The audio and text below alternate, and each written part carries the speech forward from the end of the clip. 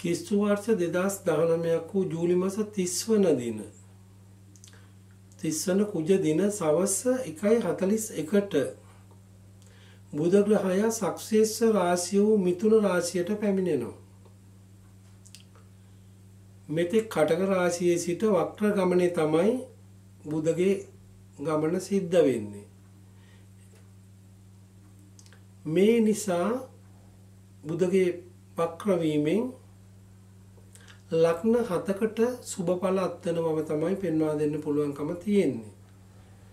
විශේෂයෙන් මිතුන වුෂම මීන මකර වුච්චික කන්‍යා සිංහ නැවත කියනවා මිතුන වුෂම මීන මකර වුච්චික කන්‍යා සිංහ ලක්නවලට පමණයි සුභඵල අත්වෙන්නේ අනිකුත් ලක්නවලට සමඵල උදා වෙනවා.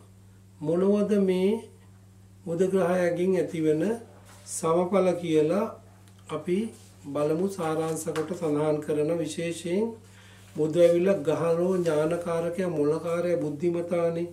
එයාගේ මේ ගමන් නිසා ඇතිවෙන සුබ තත්ත්වයන් ගැන කතා කරෝ ධනලාභ ලැබෙන මේ ලක්නවලට. ආදායම වැඩි වෙනවා. දියුණුවට හොඳ කාලයක් ඇති වෙනවා. කතාය බලයෙන් තමාගේ ජයග්‍රහණය සපත කරගන්නවා. සුළු දේවල් වලින් පවා ලාභ ලැබෙන සති කීපයක්.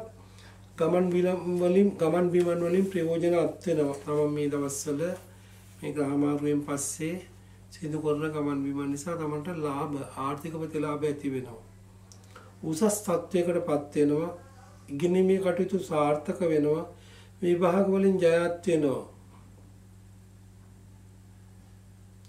ඉතින් මෙන්න මේවා තමයි බුධ ග්‍රහයගේ මාරුව නිසා ඉහතින් සඳහන් කර ලක්න වලට ඇතිවන සුභඵල තත්ත්වයන් තෙරුවන් සරණයි.